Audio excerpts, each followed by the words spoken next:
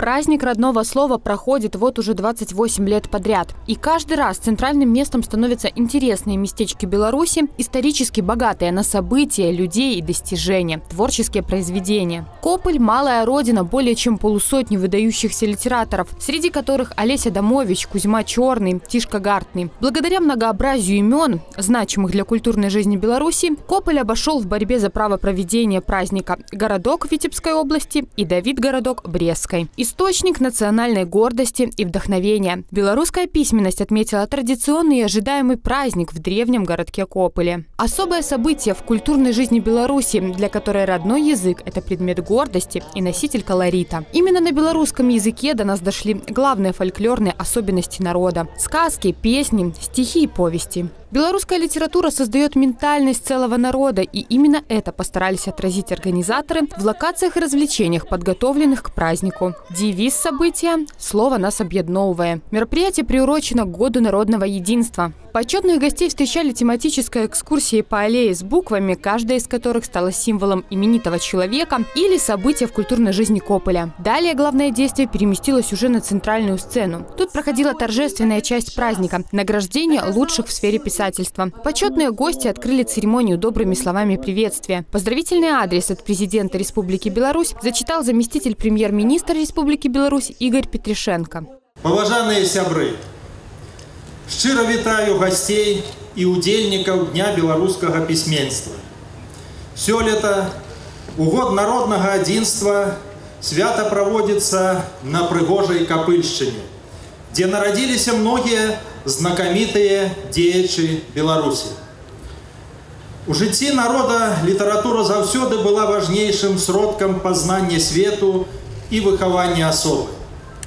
Творчасць Максима Богдановича, Івана Шамякіна, Кондрата Крапівы, Івана Мележа і інших айчинних письменників і поетів, юбілеї яких будуть адзначені під час форуму, з'являється невичерпною криницей национального гонору. Свои поздравительные и приветственные слова участникам праздника адресовали и другие почетные гости, которые отметили масштабную подготовку, проделанную в преддверии Дня письменности, а также гостеприимство местных жителей. Выбор Кополя абсолютно не случайен. Э, более 50 известных писателей, поэтов связаны с Копольщиной. Э, в их честь мы открыли нашу интерактивную аллею. Вы знаете, мы постарались все вместе э, преобразить Кополь. Я надеюсь, что это у нас, может, не все, но тем не менее получилось. Городское пространство объекты социальной сферы, объекты промышленности, торговли. Ну, мне кажется, что они обрели какое-то новое дыхание. Великолепное наше какой-то, мне кажется, вот новый образец нашего творчества, вот эти фигуры из э, рулонов соломы. Э, и на самом деле они, ну, таки, народное творчество в лучшем смысле этого слова. И вы знаете, э, на одном из таких э, объектов э, слова капыль вітае э, на мой погляд гэтыя словы павінны стаць брендом капыля для того чтобы не только э, местные жители многие гости приезжая сюда в этот прекрасный край изучая его историю любуясь им они чувствовали что капыль вітае святкуем капылі адным з самых старажытных гарадоў Беларусі. Захаванне памяці пра мінулай айчыны, беражлівыя адносіны да духоўнай і культурнай спадчыны абумоўліваюць здольнасць будаваць будучыню без адрыву ад дасягненняў папярэдніх пакаленняў. Награды, дипломы, пожелания дальнейших успехов для всех работников слова. Все это стало украшением праздника. Встретить любимых авторов-земляков или познакомиться с новыми талантами. В рамках церемонии зрители также увидели много творческих тематических номеров, вокальных и танцевальных.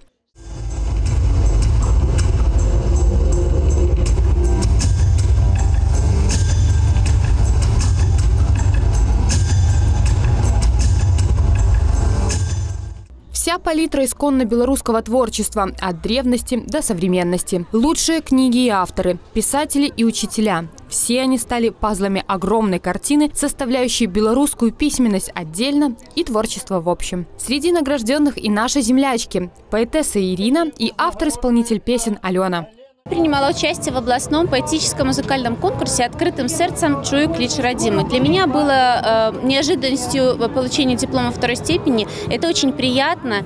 Э, для меня это очень значимая победа. Критерием э, этого конкурса э, стихи о родиме. То есть ну, в самом названии заложена тема, так сказать. Э, мои стих, стихи были о нашей республике, о, о малой родине. За авторскую песню это вау. Это вау, это не сравнится ни с одним другим конкурсом. Просто исполнительство на другие песни. Какие творческие планы на ближайшее будущее, к чему готовимся? Очень активные, развивать свою студию, которая, кстати, находится в городе Солигорске. Э, я учу и взрослых, и детей. Также участвовать самой вот, быть автором, продолжать э, читать, э, писать и так далее. И стихи, и песни я пишу. Вот. Ну и развиваться как педагог, как артист. Минщина читающая. В рамках Дня письменности каждый город нашей области подготовил самостоятельную локацию, рассказывая о работе местных библиотек и средствах массовой информации. Библиотека в современном мире – это ведь не просто архив знаний, но и площадка для самовыражения. У каждой библиотеки города своя история развития и свои смелые проекты, мастер-классы, интерактивные занятия. Тут на площадке каждая библиотека показала свою особенную изюминку и все самое интересное для гостей праздника. Мы сейчас представляем, например, э, значит, такую игру «Занимательная геральдика», которая знакомит э, желающих с гербами Республики Беларусь, Минской области, э, областей Беларуси и наших городов Минской области. Это очень интересно и познавательно. Считаем, что здесь можно тоже много узнать об истории нашей страны. Также в нашей библиотеке есть коллекция автографов, которая насчитывает, книг с автографами, которая насчитывает больше тысячи экземпляров. Но мы сюда привезли пять книг, которые связывают наш Борисов и город Кополь. Это пять белорусских писателей из Кополя, которые в свое время в разные года, в 70-е, в 50-е, в 90-е были в Борисове, в нашей библиотеке, оставили на память свои автографы. К слову, многие библиотеки занимаются еще и инклюзивном направлении. Например, десятиклассница из Луцка Ульяна приехала в Кополь с собственной выставкой колокольчиков, которая хранится в библиотеке города. Девушка инвалид по зрению, однако занимается творчеством и к своему увлечению приобщает других. Гимн пою о своей синеокой с поэтичным названием «Белая Русь». Леса, озера, реки и протоки. Тут настоящий заповедный край.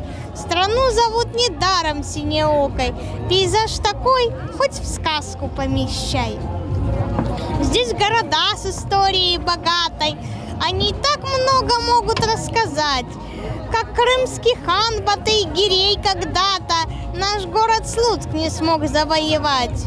Наша центральная библиотека также представила свою масштабную локацию на суд зрителей. И, к слову, работу оценили очень высоко. Библиотека получила заслуженную награду за свои авторские проекты. Гордимся нашим, э, нашей интерактивной площадкой, потому что она, наверное, самая белая, самая современная, самая яркая во всем Кополе.